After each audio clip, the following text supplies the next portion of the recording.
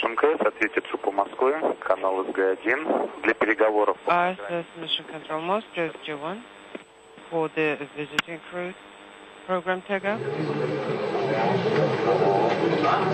Отвечаю. This footage now uh, was uh, shot earlier this morning. You see in the foreground Valentina Tereshkova, who was the first woman to fly in space in 1963.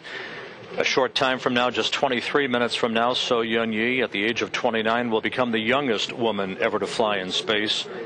You see her parents uh, watching her suit up today in the Site 254 Integration and Assembly Facility at the Baikonur Cosmodrome in Kazakhstan. The uh, crew uh, arrived uh, to begin their suit-up procedures about 1:30 Central Time uh, this morning. A large uh, crowd of well-wishers uh, on hand. Uh, following uh, the suit-up, uh, the crew uh, made its way in the traditional walk towards uh, their greeting uh, to uh, the head of the State Commission uh, before boarding uh, the bus under clear skies uh, behind uh, Sergei Volkov. Valery Korzun, who was the Expedition 5 commander along with Peggy Whitson back in 2002. And you see final uh, well wishes and uh, greetings and waves uh, to the uh, assembled uh, media and officials uh, at outside the Site 254 integration facility at the Baikonur Cosmodrome in Kazakhstan as the crew then made its way onto the bus to head to the launch pad.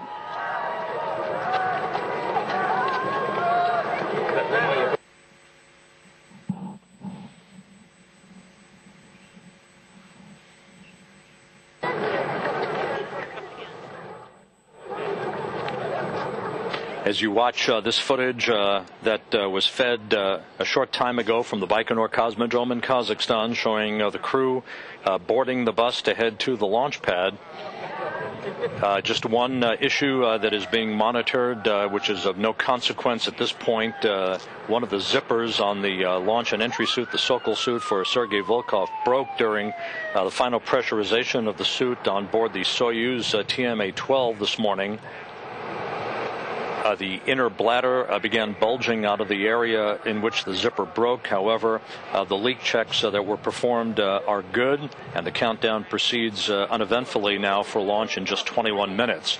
You see at the launch pad now the crew in its final farewell to the well wishers as they began to ride the elevator up to the crew portion uh, where they uh, climbed inside the very tiny Soyuz TMA 12 uh, to begin to strap in for final pre launch checks and preparations for liftoff that is scheduled less than 21 minutes from now at 6:16 a.m. Central Time.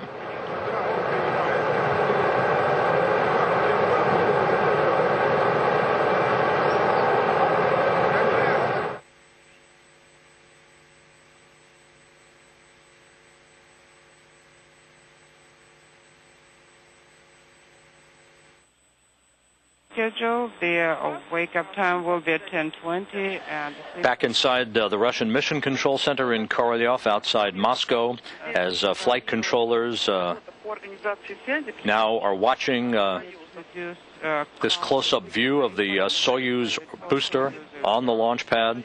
You'll be in your Soyuz. The um.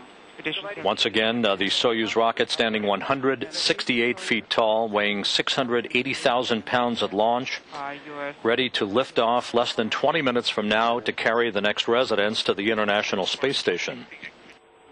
Нет, Татьяна, нету. Uh, Do you have questions now? Uh, April 12th, we plan uh, to conduct the handover. and in the nearest future, today or tomorrow, we'll uplink the uh, radiogram on board with our recommendations on the handover. And for each day where handovers will be scheduled, we'll be planning the specifics for these activities.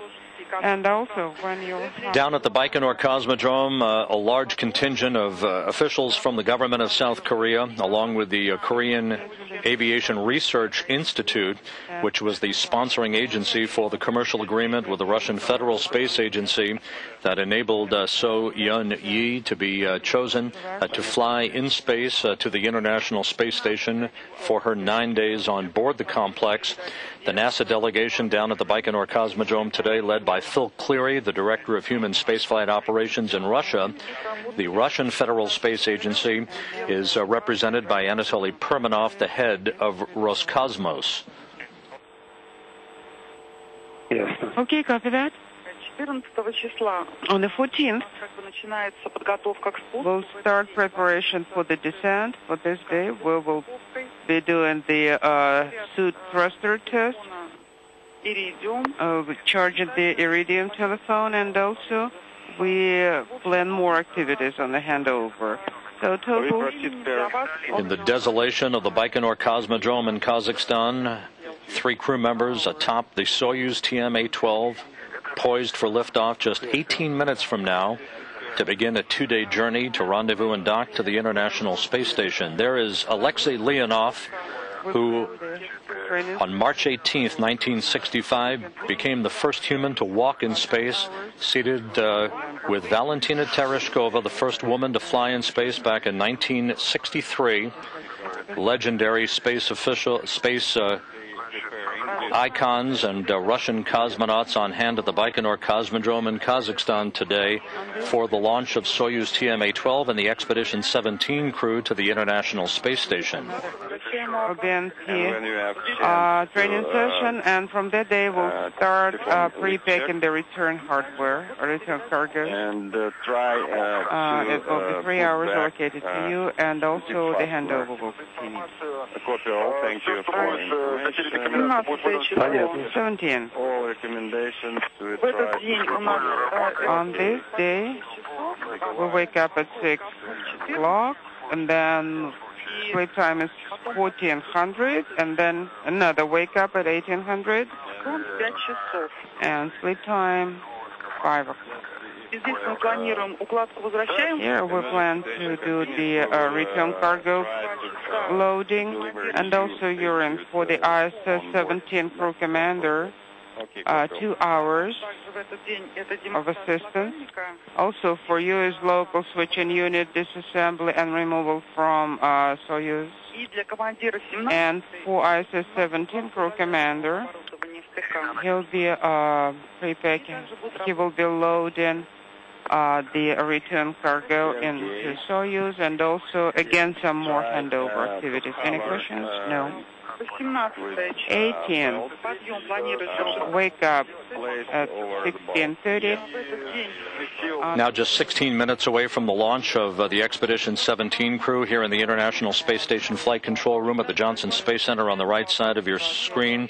Flight Director Ginger Kerrick, uh, who uh, will be uh, discussing all of the activities throughout the course of the day uh, with the uh, Expedition 16 crew on board the complex, uh, joined on console uh, on her right, on the left side of your screen, by astronaut Shannon Lucid, who herself uh, made history uh, with her uh, record six month stay aboard the Mir space station back in the 1990s. Uh, Lucid. Um, is talking directly to the crew uh, this morning on board the International Space Station as they continue on board the complex uh, to watch uh, a feed that is being uplinked to them of uh, the launch preparations down in Baikonur. The uh, word uh, from launch officials down in Kazakhstan is that uh, at the 15-minute mark, uh, everything is in readiness for an on-time liftoff at 6:16 a.m. Central Time, 5:16 p.m. Baikonur time. At the time of launch, the International Space Station will be traveling uh, over the uh, Pacific Ocean just to the west of Pitcairn Island.